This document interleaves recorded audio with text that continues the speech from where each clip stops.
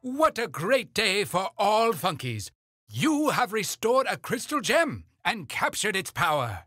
Now that the shards have been reunited, the henchmen's batteries are being drained, shutting down the henchmen for good.